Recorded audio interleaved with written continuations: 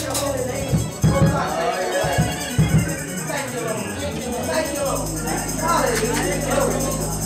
you. Come on, somebody.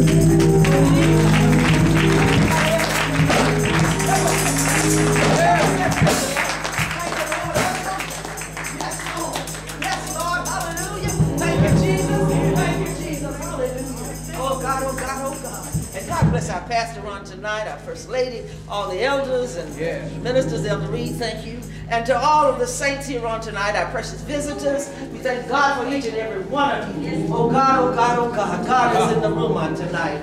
And before I proceed to go any further tonight, back around the month of November, I was sitting up at my house and the Lord just seemed to have instructed me to get my pencil and to start writing.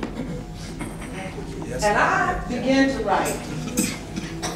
And when I think about what God, I'd like to read this to the saints on tonight. God is not through in the room. I feel an urgency here tonight.